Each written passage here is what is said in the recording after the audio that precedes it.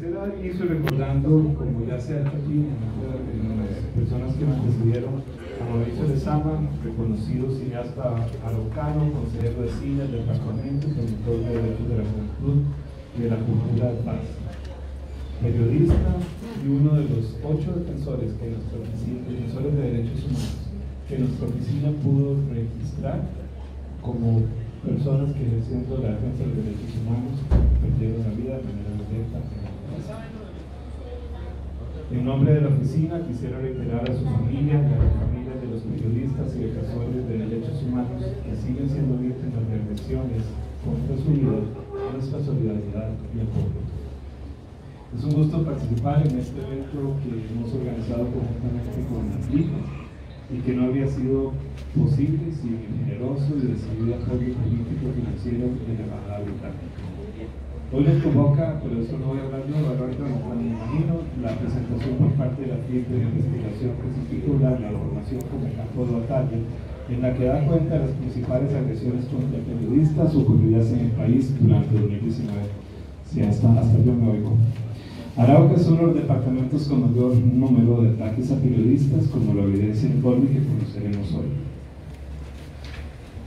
Este evento pretende brindar una mayor comprensión sobre la situación de libertad de prensa en el departamento de Arauca y tengo la total seguridad de que este encuentro será útil para visibilizar la situación y encontrar soluciones que contribuyan a mejorar la situación que, enfrentan día a día los periodistas de este departamento por su defensa del derecho a la información y la libertad de prensa. Ellos son, según la Declaración de Derechos eh, de las personas que defienden los derechos humanos, defensores y defensoras de derechos humanos. Arauca es el campo más emocionante, más allá del, del de la situación. Es un referente por la fortaleza y el compromiso de sus autoridades étnicas y su movimiento social este último conformado por el movimiento comunal y por organizaciones de derechos humanos, que ha plantear estrategias de participación que mejoren las condiciones de vida de las comunidades.